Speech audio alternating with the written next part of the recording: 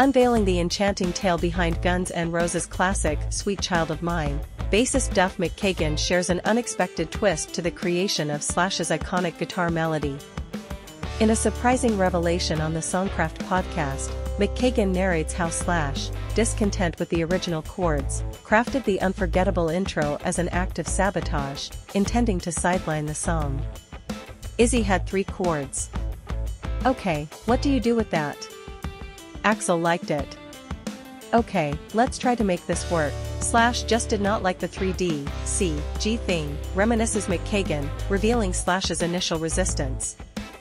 The twist in the tale unfolds as Slash's atonal creation, intended to derail the song, ironically becomes the most iconic part of Sweet Child of Mine. The song, which defied Slash's early skepticism, stands today as one of Guns N' Roses' most emblematic pieces.